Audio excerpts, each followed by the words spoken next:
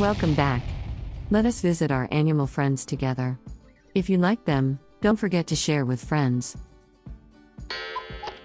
The brown throated sloth is a species of three toed sloth found in the neotropical realm of Central and South America. It is the most common of the four species of three toed sloth and is found in the forests of South and Central America. The head is rounded, with a blunt nose and inconspicuous ears. As with other sloths, the brown throated sloth has no incisor or canine teeth, and the cheek teeth are simple and peg like. They have no gallbladder, cecum, or appendix. The brown throated sloth has grayish brown to beige color fur over the body, with darker brown fur on the throat, the sides of the face, and the forehead.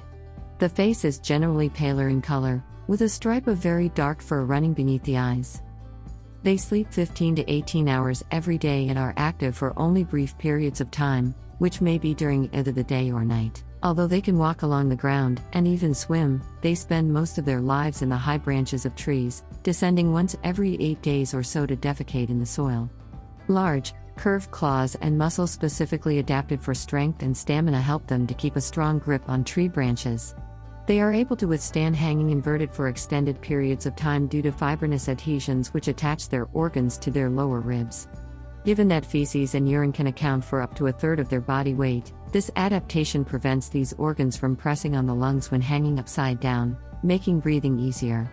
Adult animals are solitary, except when raising young, and males have been observed to fight one another using their foreclaws. They have a polygynous mating system.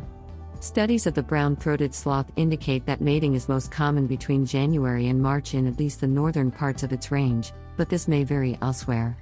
Gestation lasts at least seven months, and the single young is born fully furred and clawed.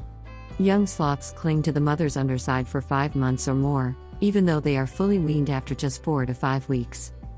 The mammary glands of the females do not store significant quantities of milk as most other mammals do, since the infant sloth remains attached to the nipple at all times and consumes the milk as soon as it is generated. The young begin to take solid food as early as four days after birth, initially licking particles of food from their mother's mouths. This process apparently allows them to quickly identify edible leaves, and young sloths typically have the same preferences for leaf types as their mothers. Thank you for your visit. And I will be waiting for your next visit. Till then, have fun.